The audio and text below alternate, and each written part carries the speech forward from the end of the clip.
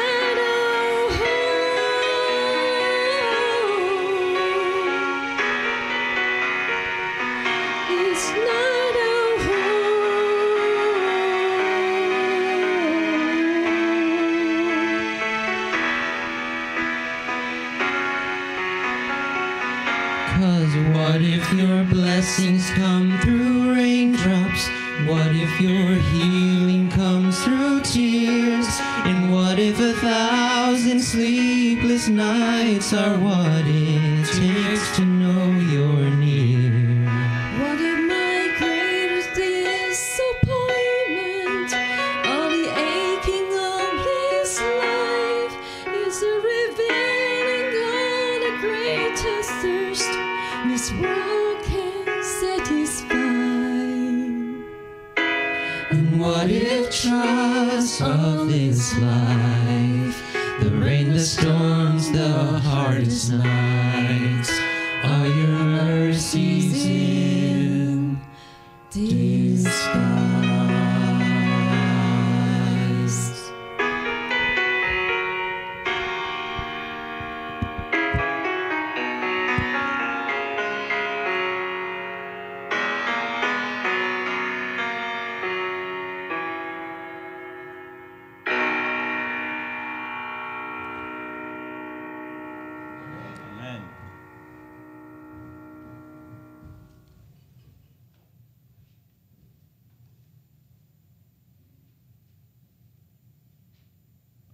看今仔日的圣经节是诗篇第一章第一节到第六节。我来读。无将恶人的计谋，无徛罪人的道路，无坐失万人的座位，独独喜爱耶和华的律法，每日思想，即个人便有福。伊要亲像一丛树栽伫溪水边，按时阵结果子，叶仔也无枯干。凡伊所做的，尽拢顺利。恶人并毋是安尼，乃像空气被风吹散。因此，当审判的时阵，恶人必徛立袂得袂袂调。罪人伫义人的会中也是如此，因为耶和华知影义人的道路，恶人的道路却必灭亡。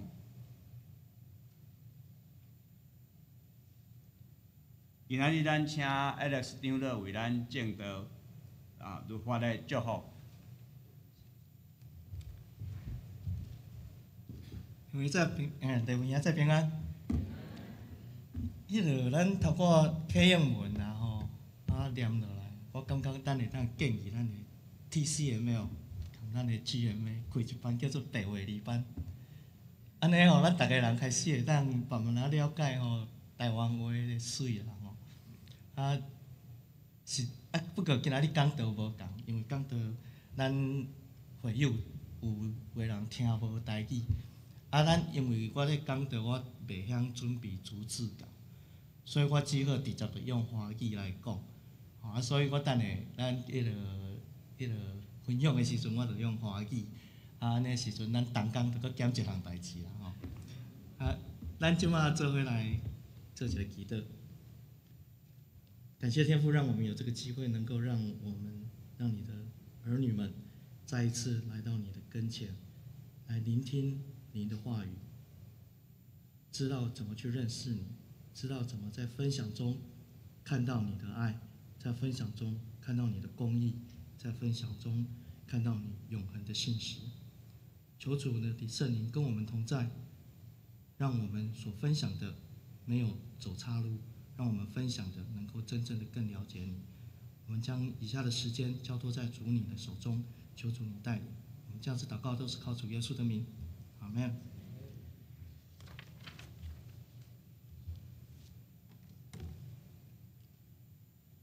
嘿，啊，我的错，没有打开。那个上次讲到哈，一样讲同样的一篇，我觉得大家没有认真听。因为我相信哦，那个这个上次派的家庭作业，你们回去一定没有去做。嗯，那个呃，礼拜三后来每次讲到完，礼拜三就会有一个检讨，他就兄姐说，哦，不晓得那些圈圈叉叉到底是代表什么东西啊？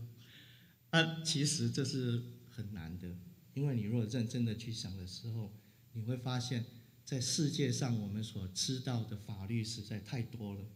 规矩这里一条那里一条，哦，啊，你有的时候知道说，哎，这个是我们信仰上定的规矩，这个是我们道德的的规矩，文化遗留的产物，哎，有的时候律法讲得清清楚楚，这个，可是这中间分分叉叉的，让我们很难去去那个分辨。不过今天我们不从这一这一题讲，因为我发现认识一个东西，可以用不同的角度去认识它。好，那个我们上一次呢，我们是从同样的一章，我们是从后面讲起，就是说我们从福气本身来讲起，说为什么我们走法律、走神的道路的时候，诶，这个人就有福啊。那个福到底是什么东西？好，所以那个我们上次就从那个耶稣教导我们的登山宝训上面有八福。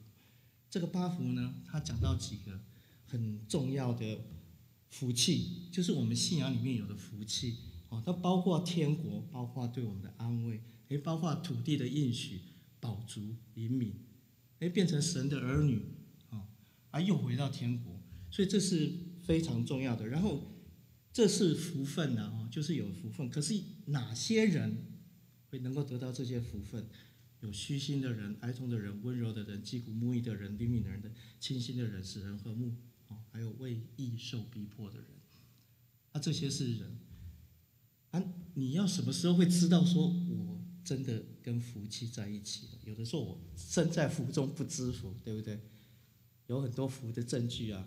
当你知道你有被爱，更重要的是，当你知道你能够去爱别人的时候。你学的怎么去依靠，怎么去仰赖？你觉得说这些信依靠仰赖是一种信仰，不是因理智来的，是因为你的信仰得来的。你甚至会愿意为对的事情受到逼迫，而且你心甘情愿，因为你那个时候已经知道福的意义。所以我们上次讲的是这个，好，那我们现在那个。当然，上次到最后又回到那个我们的圣经节里面了。唯有喜爱神律法的，只有这条是得到福的那个道路了哈。啊，我相信光一讲，大家并不能够完全深透的了解。而且上一次真的讲的比较复杂一点啊，花了好多时间哦。所以那个我们就这次用另外一种方式。小的时候你一定有看过这个，对不对？啊，你一定很直觉的就想说，我一定要找到这条路。啊，可是你会发现哈，有很多时候，你反而是从后面出口找回去比较简单，有没有？你们应该有很多这种经验嘛，对不对？那个那个幼稚园的老师拿出来说，哦，你找找出这条路，结果你发现说，我都找不到，可是从后面一找，只有一条路而已。哦，这叫什么？逆向思考。啊，有很多时候逆向思考，哎，我们今天就要那个，不然的话，我再举个例子啊，哈，这个是另外一个例子啊，反那个这个是反正就是说逆向思考哦，也是有危险的地方啊，我那个因为这个不管是国中还是高中有这那个类似这种题目了哈，啊，那个每次我来分享的时候，一定会有一些数学题啦、逻辑题啊那些哈、图案题啊哈。啊，这个样子是引起大家兴趣。这个角 A 跟角 B 对等，对不对？对对顶角相等哦，哦，啊，你怎么去证？那个如果说那个那个像我还要再去翻，我要 Google 一下我才找到答案的。可是那个时候我知道了哈，啊，我拿这个东西来那个比个喻，然后就说。我如果用逆向证明的时候，我一定是先从 A A 就等于 B 嘛，对不对？哦，我从结结论开始嘛。哎，那 A 跟 C 在一起的时候，跟 C 跟 B 在一起的时候，都是一条线，都是一百八十度嘛。所以一百八十度等于一百八十度，我就证明完了嘛，对不对？错啊！哦，那题我得零分，为什么？那个老师说逻辑错误。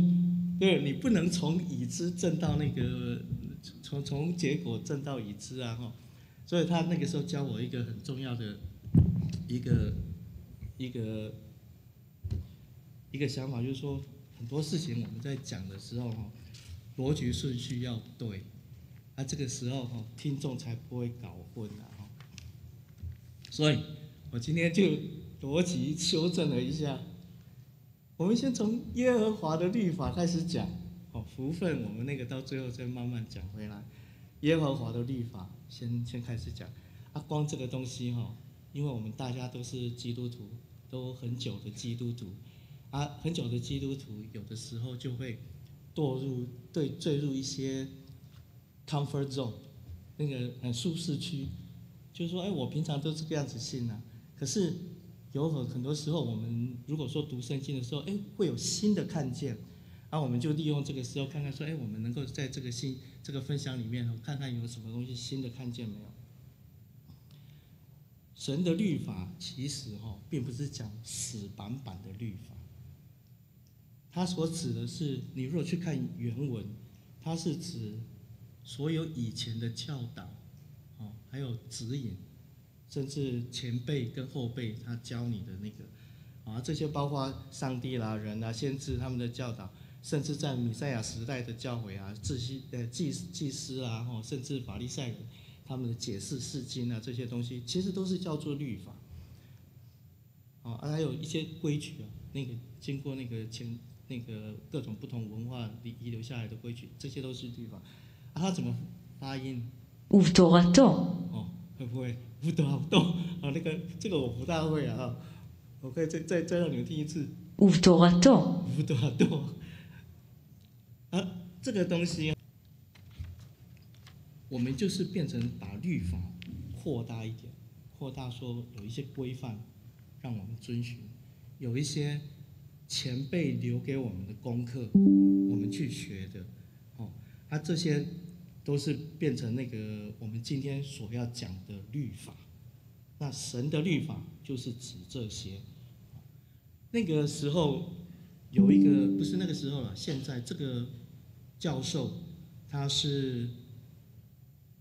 Southern Baptist Theological Seminary 的教授，他就提出，上帝的律法在圣经里面所指所指的是哪些东西？啊，在圣经里面，第一个就是说，你要看上经，呃，上帝的律法其实就是上帝本身。这个对我是一个很大的冲击，我以前从来没有想过这个样子。你去看上帝的律法的时候。看十诫啦，看上帝所讲的任何东西的时候，你应该把它当成是上帝的本身。这个有的时候很难接受啊，把一个死板板的东西，把一个教导当成上帝的本身。可是你后来慢慢想的时候，哎，真的是这个样子。我们等一下会解释说为什么是这个样子。啊，啊，还有另外一个律法，它当然写的很清楚，它里面的意义就是说，我叫。我所受造的东哎的人啊，这些万物，你一定要照着这个东西去做。举一个最直接的例子来讲，我说我创造不是我，上帝创造光，光就有一定有它的性质，这个性质不会改变的，就是受造物在受造主的前面是绝对的要求哦。那个摩西五经。然后慢慢的，你就会看到我们旧约时代的信仰的时候，经过摩西五经，呃，上帝经过摩西五经跟以色列人讲说，这些事情你必须要遵守。哦，所以说在那个圣经里面讲到上帝的律法，就是指这些东西。还有很重要的，不只是规定人的，还有神跟人所立的约。这些也是非常重要。好像说神说：“哎，我再来彩虹，就是我跟你立的约。哦，再来我就不毁灭你。”最重要，可是这个我们最后才要讲，就是基督徒的律法。我们就会很自然的问题说：那旧约跟新约到底有什么不同？哦，上帝的律法是不是只有包括旧约，还是新约也是？那这两者之间的关系是什么？那就是基督徒的律法。这个我们最后会来讲。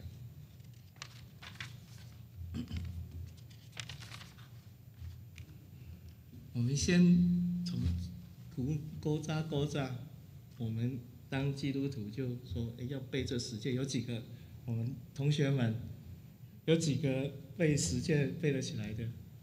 不然我们今天就下课。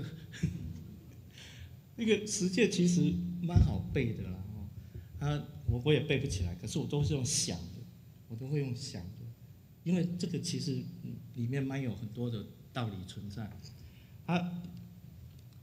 那个，我们稍微很快的那个回忆一下，第一个，除了我之外，你不能有别的神，第一个最重要的。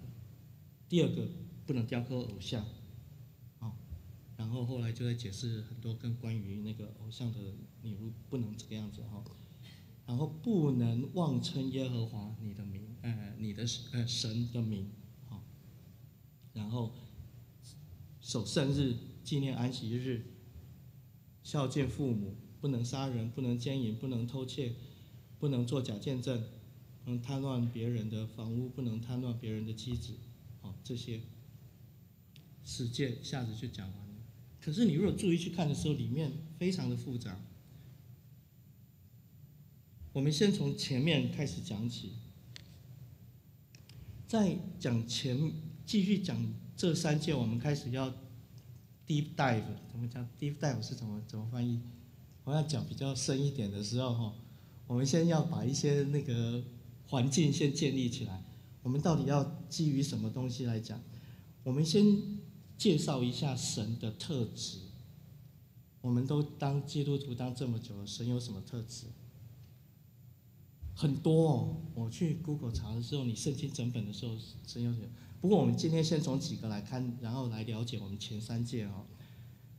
我们先看这几点，大概大家都不会反对神的特质，就是说神永远都在，神又全能的 Almighty，他想要做什么就可以做什么，他什么事情都知道，他随时都在。而且另外一个内在，他他其实内在翻译的比较不对啊，叫那个是 Emmanuel 是跟我们同在，从从那个字根过来的 immanent，immanence 就是说，它实际上是跟这个世界跟物质界在一起的，这个观念非常重要。如果说没有这个观念的时候，神就跟我们是分开的，它是属于另外一个世界的。可是神是跟我们在同样一个世界里面，好，所以他我们先从这几个东西，我们来解释一下前三界，好，他那个第一个是说，除了我之外，你不能有别的神。如果说你一开始就定义，只要用前面那五个特质的时候，有另外一个神能够符合这个特质吗？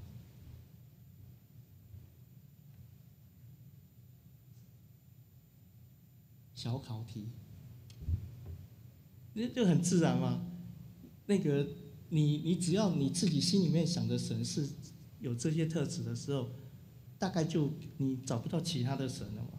所以第一届其实并不是说，第一届不是像字字面上讲的是说你不能除了这个之外，你又要找另外一个，不是这个样子。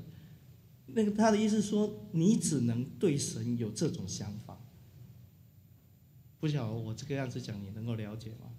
就你一开始对神的想法是这个样子的时候，你就只会有这个神。你不能把别种东西当成神。好，这是我在解读第一届的时候。那既然这种想法这么大的时候，这么宏大的时候，包括所有的时候，有办法拿一个偶像去把它局限在一起吗？把要要一个固定的东西把它局限在一起吗？那你把东西把它局限在一起的时候，这实际上就是对这个东西自否定你自己所信仰的东西，难道不是这个样子？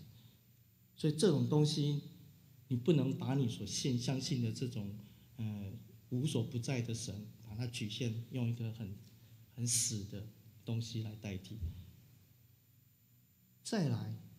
你能不能用一个名字去把它局限在一起？我刚刚是用一个东西去代表这个东，这个这个神，所以我去拜这个东西。那再来就是更更深一层的，我能不能拿一个名字去代表我所相信的东西？在我们基督教的信仰，我们这个是非常小心的。他在第三届的，就是说你不能随便取一个名字啊，哦，甚至在那个亚位，不是那个我们不是有耶和华吗？老早真正的发音我们都不晓得了，到那个很久以前就已经没有人知道怎么去发音呢。我觉得也是这个原因呢、他们不敢妄称神的名字，不敢随便拿一个东西去代表我所相信的神。然后我们另外这个这个，我只是稍微介绍一下这个从这个神开始的时候，我们再回回忆回回想一下，或者仔细仔细去思量一下我们的信仰的神是什么。然后我们这个十诫里面很好玩哦，我们讲到那个法律里面又有一些那个有一些特定的文字所代表的东西，所局限的东西都不一样。除了第一个以外，哈，你看看不可的有多少？所谓的法律是说你这个事情不能去做，不能的话，所以你做了就犯法。哎，其他的事情你是不是都可以做？哦，法律有这种想法，在普通我们的法律在讲说，你不能闯红灯，哦，你不能这个样子。啊，假设没有红灯的地方，你要怎么做？你没有人管你，哦，这是法律基本对个人的法律的精神啊。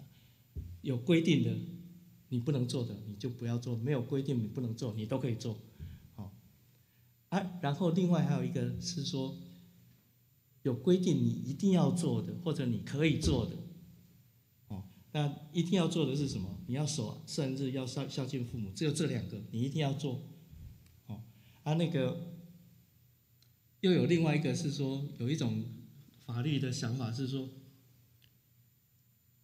我有规定的，你才可以去做；我没有讲到的，你都不能做。这个是在什么时候会有这种现象？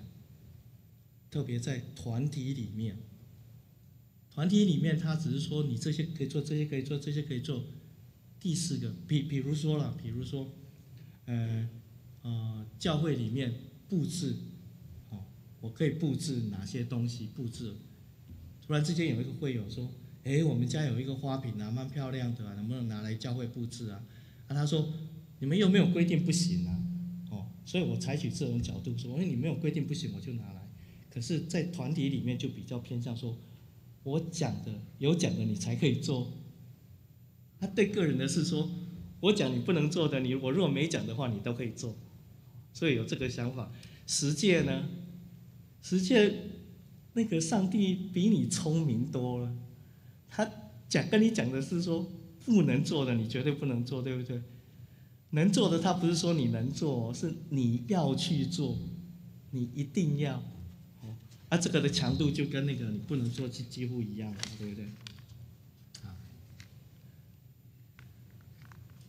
好，好，小考。啊，做恁兜厝边，恁兜厝边啊，伊甲你讲一个伊相相信的所相信的，说、哦、我相信的神哦，他全知全能什么那个的，哦，他讲完了以后，他说，呃，你是不是基不？我们就问他说，那你是不是基督徒？他说不是。你是不是犹太教的？他说不是。啊，安尼伊上信的上帝，跟咱信的上帝，敢是相共？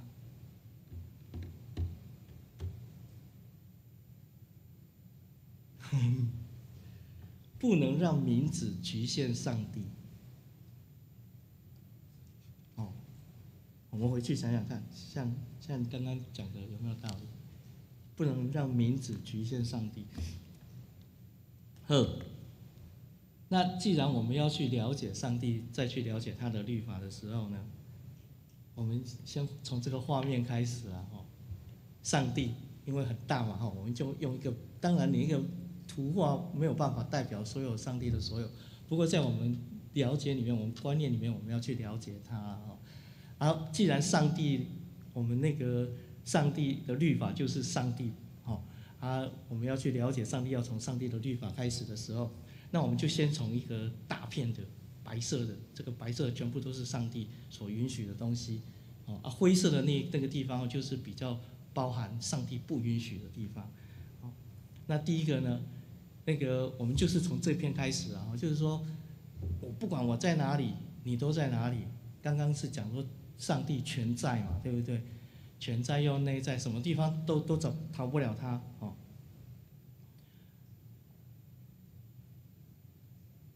然后我们开始一个一个把上帝教我们的律法加进去这个图案里面。圣经里面第一条法律是什么？哦，今天大家考试都不及格哎。我这个我我我们牧师回来，我赶快跟他讨论一下，怎怎么加强我们的主日学。这个很多人知道啊，哦，第一个律法是那个上帝跟亚当讲，亚当夏娃带到面前，来来来，嘿，这个园里面的，你看。上帝在定律法的时候多完整，他说：“园里各种树上的果子你都可以随意吃。”他已经把那一点全部点了，可以哦，你这个全部都可以吃哦。只有分别善恶的树上的果子你不可以吃，因为你吃的那天一定要死掉。对，一个是不可，他讲的很清楚。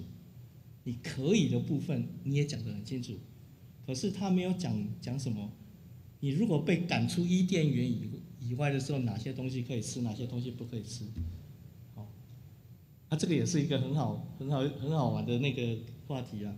所以你要知道，就是说他讲可以的时候，还是有外面有很多事情，他是让你去做的，那也属于上帝啊，哦，也属于上帝可以做的，他只是没有跟你讲一样。所以上帝。在历代经过圣经，经过他所定下的教导跟律法，让我们人类去了解上帝。所以他接下来就讲十诫了。十诫里面有哪些是要的，你一定要去做；哪些是不可以去做的。那人类那个时候那个时代的信仰，他就经过这些规矩去了解，说哦，上帝是这个样子。可是那个法律本身都是很死的，人写出来的文字都是很有局限的，哦，那没有办法包含整个，所以那个很多灰色地带就是出现在没有上帝没有讲到的，那我也不晓得做出来到底对还是错，那那个时候呢？那个就有科学家，科学家他就研究啊，啊，这个上帝创造的定律，这个是一定对的，哦，啊，这个我相信，我也要强调一点，就是说，上帝很大，我们不能把它把科学挖出来说，这个不包含在上帝里面。有很多，特别是我们的那个兄姐，他会觉得说，科学跟我的信仰是绝对相对的，我。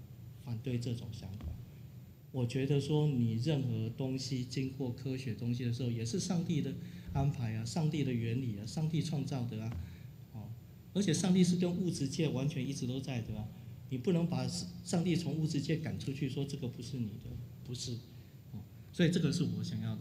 那道德风俗的时候，有很多是符合我们的信仰，有很多不不符合我们的信仰，所以会有这种差异。所以，我们刚刚讲说，那我们自己的信仰的时候，上帝十诫，十诫只有两个东西啊，还有很多白色的地方啊，所以那个时候有各种不同的文书啦，那个那个什么文书啦，哦啊教师啊，拉比啊，还要有一些解经的人啊，他们就是慢慢的去解释摩西五经里面。那个上帝他的教导是什么？哦，所以那个时候就出现了，从摩西律法，他们就写了。上次我们那个周三祷告会的时候，哦，六百多条的诫命，对不对？啊，那个很多啊，为什么？因为他们想要解释，从他们的了解解释说，上帝的律法是这些的，所以说他把一些东西越写越细节，越写越细节。可是你用人的文字去写那些神那个无限的东西的时候，很显然一定是不对的嘛。不是说不对，一定不完全。好，这个我们刚刚讲过。啊，后来呢？因为不完全，结果那个哎，哦，虽然不完全，可是我们会发现说，为什么我们要去遵守这些法律？其实很多都是说我们要跟上帝同在，因为我们从刚刚了解，就是说法律就是上帝啊，上帝的律法就是上帝啊，哦，上帝的教导就是上帝本身啊，所以为了要跟上帝同在的时候，我就就必须要去遵守这些法律。好，那这个实际上就是上帝律法的祝福，让你能够跟上帝同在。如果上帝没有跟你这些律法的时候，你人或者信仰他的人就没有办法知道怎么去跟上帝同在，对不对？那跟上帝同在有哪些那个特质呢？这个都是我们以前小那个主日学就学过的，对不对？上帝就是好，God is good，上帝是真实的、信实的、公义，他有慈爱、恩典、怜悯。然后他是全能的，哦，他是牧师一再强调，他是永恒不变的。所以你想要跟这些东西同在的时候，你就必须依靠上帝所教导你的律法去做，你才有办法去跟这些事物同在。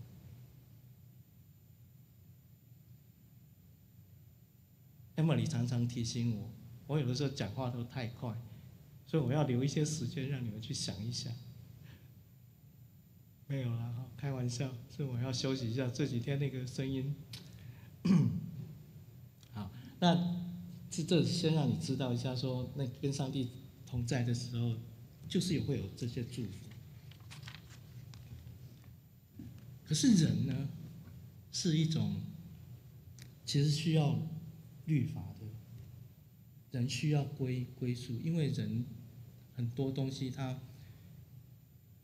自由自在，上帝给我们的自由意志，让我们无所拘束的时候，很多时候我们就会偏离那个上帝。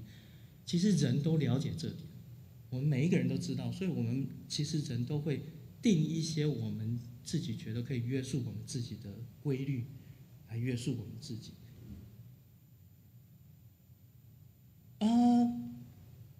别记住，那个几个家庭作业，这些东西哦，在圣经里面都可以很好的找到哦。我们回去找一找，复习一下。我们那个当基督徒这么久了，这些东西我们可以再复习一下哦。啊，那个圣经里面，特别是诗篇里面有好多地方都讲到这个。好，再回到这个，我们刚刚讲说，人那个因为那个自己的弱点没有办法，一定要定很多规矩啊。在新约那个时候就有那个法利赛人，有没有？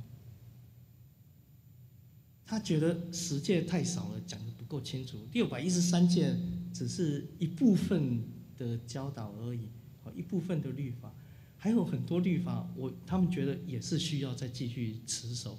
比如说，他们一代相传、口传的那些规矩然后那些那个他们解经的内容啊，这些他们也都拿来那个。那个那个怎么拿来遵守？可是就会发现说，会有很多漏洞，因为跟人的弱点加在一起的时候，特别是人的虚伪、双重标准，哦，还有那个不设身处世，然后那个又用错的那个。那个教义去教导别人，引导人走错路，这些都是人的弱点，都在法利赛人那个时候的作为里面显示。我们不是说法利赛人他们的的的都都不对，他们有很公正、很很客观、很很好的解经的方式哈。可是当到人的手中的时候，这些东西都走歪了，所以那个。等到耶稣来的时候，他们发现说：“哎，法利赛人这部分是有一些东西必须要质疑的，必须要 challenge 的，那些那部分的信仰必须要改变，真的是信仰必须要改变。”所以你看那个时候，就那个旧约、新约、新约的时候，就会有很多这些神的律法。啊，你如果在那个时候，哎，真的很难当呢。就是说我怎么样做才能够没有罪啊？哦啊，那个太多事情我要做又不要做，啊，去那个圣殿还得买个鸽子啊，还是买个羊啊什么的，很很多啊哈啊这些其实那个我们慢慢的讲，我们怎么解决这个？在还没有解决的时候，我发现哦，这到底是哪里的法律，哪里的规律，怎么这么复杂？我想一想。家里面，我们每一个人家里面都有很多规矩，对不对？这个跑不掉，有一些大大事事、大大小小的事情，在生活上面所有的点点滴滴啊，啊，那个幸好我们家里面哦，就是因为有爱，才能够包容这些。这个就是我们接下来要讲的啊，对。那个基督徒最大的诫命，我们现在新约了。我们基督徒最大的诫命是什么？你们要尽心、尽性、尽意、尽力爱主你的神。记得哦，主你的神定义是什么？就是我们前面所讲的，他无所不在那个神，哦，他是公义怜悯又那个信实那个神，要爱这个东西，不是东西了，要爱这个神。另外要爱人如己，这个是最大的是见见面，又给我们一个新的新的见面。他说。你们要彼此相爱，那不只说你们要彼此相爱哦，还教你要怎么怎么去爱，怎么去爱。耶稣怎么去爱我们的时候，你们也要这个样子去爱别人。耶稣怎么爱我们？他要为我们钉在十字架，为了别人的错，他去抵罪。我们也要这个样子，为了兄姐的错，我们去包容，去抵罪。而且爱是动词，它不是一个名词。一开始我们讲到上帝是爱，爱那个是除了是动词名词以外，还是那个动词。这个是动词，它是规定你要去爱。嗯，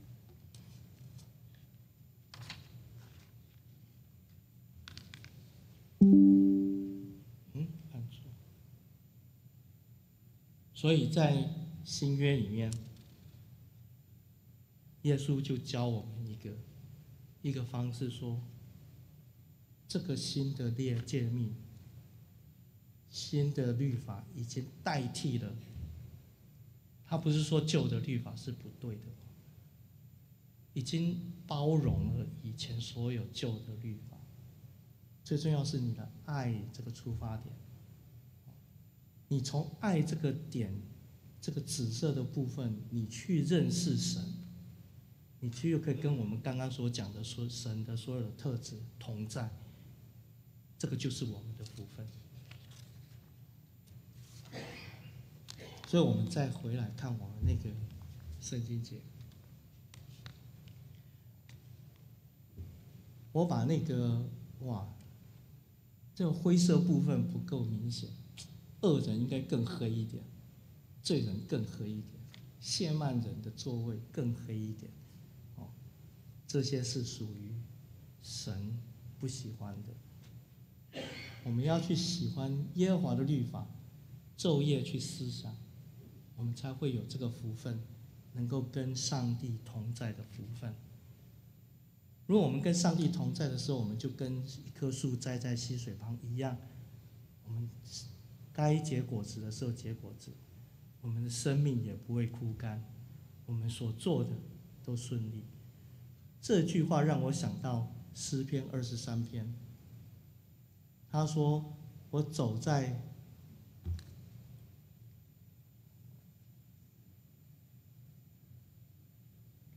他说：“前面就是你在诗篇那个二十三篇的时候，他说他那个走耶和华指导他行的路。”恩典跟慈悲的确随我到一生，这个跟他所做的尽是顺利，其实是一样的。重点是，你那个时候是居住在耶和华的那个殿里面，才会有这个样子。那如果你不这个样子的时候呢？那个黑的恶人啊，就会是被风吹散，也站不住脚。所以，我们今天是从上帝的律法那边，从认识重新再认识一下上帝，我们基本的信仰。其实我们那个都要每次哈都要从最基本的开始。嗯、牧师跟牧师娘他们现在开始了这一班基要真理班。基要真理班，我觉得其实有很多都是从这基本的那个方面去进行的。我是觉得我们其实在组织学的时候，说不定哦也应该再复习一下这些那个东西。所以总结就是说，其实是上帝的律法是一种真的一个很大的祝福哦，让我们人可以跟上帝在一起。可是我们要能够跟上帝在一起的时候，其实有几个基本的步骤我们跑不掉的，绝对跑不掉。你如果少了其中的一个步骤的时候，其实就很很难。哦，啊，起步当然是那个一定要是相信说有一个神，有一个神，他是全能、圣洁、公义、慈恩典、慈爱的。我们一定要有这个信仰。你如果没有这个信仰，后面都不用讲。你一定要有个信仰，说，哎，真的有这个神，我可以信仰的这个。当然，我们这个神，我们不是一个名字，而是一个这个，啊，这个 concept。然后，我觉得说这个 concept，这个全能、圣洁、公义、恩慈、慈爱，是我要追求的。如果你没有要追求这些东西的时候，你也不用讲了。哦，这个信仰对你完全没有意义。哦，你要有这个决心，说我这个这辈子我是要去追求这个。那你一要追求的时候，你就会马上发现说，哦，原来还有这些东西，那个这些律法规定的说啊，这些东西实际上是我不足的地方。那这些不足的地方，哎，是不是就阻碍到我跟上帝的同在呢？不是的。因为主耶稣为了我们的罪定十字架，他变成了我们的中保，担当了我们的罪。结果这部分的罪不是我们的他，反而变成说，嗯、能够让我们了解，哦，那个耶稣在我们身上的恩典，然后能够让我们仍然享受到跟上帝同在的祝福。那如果说光这个样子的时候，其实还是不够的。因为我们有的时候相信，就好像说我们对上帝的认识不够，对上帝的教导不够清楚，啊，而我们就是要很明白的分辨说什么是上帝的意，什么是对的，什么是错的。所以你会发现说，我们遵循上帝的律法不是一件事，不是一堂课，而是一辈子持续的功课。最重要，也不是说最重要，一直都很重要。等我们知道这些对我们生活上所产生的变化，生活上所产生的祝福的时候，我们要去见证。见证本身是一个爱，你要克服你自己不 comfortable 的东西，你去帮助别人了解他的一些祝福，他所不知道的祝福。这个样子的时候，能够让更多人变成艺人。更多人什么是艺人？就是相信上帝这些律法，遵守上帝这些律法的人，跟艺人哦更多人在一起，啊这个时候这个社会才会慢慢的一起享受到跟神同在的福分。有很多中间大家打瞌睡的时候，跟大家讲一下，我们 YouTube 有录影，在 YouTube 的时候，欢迎大家再回来。我最喜欢人家说你讲的哪里不对，这个我最喜欢的，因为我那个时候就有机会回去想一想说，我这个地方这个时候的思考观念哪里是错的，必须要怎么修正。我觉得这个都是我们信仰中很重要的功课。我们一起来祷告，感谢神，让我们有一个机会，兄姐能够开放我们的心，重新思考你的作为、你的神性，你在我们生命中的地位。当我们不了解这些的时候，我们很难知道，原来我们很多都是在福中不知福。我们很多时候，我们所追求的福，却不是你所要的祝福。求主让我们的心更火热，更饥渴，饥渴你的意，饥渴你的国。求主将这个圣灵在我们心中，让我们重新重重新回到起初对你的爱。我们这样子祷告，都是靠主耶稣的名。我们。我们一起起立。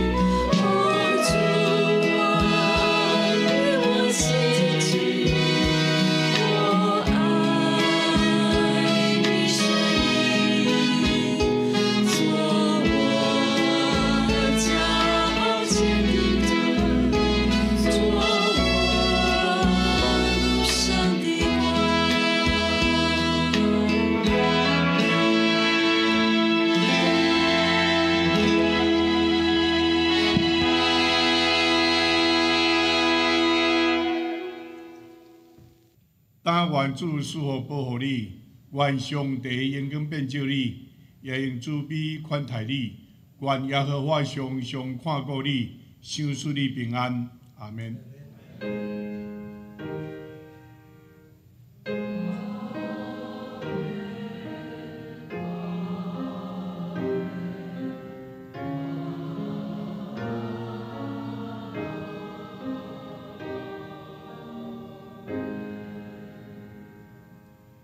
请坐。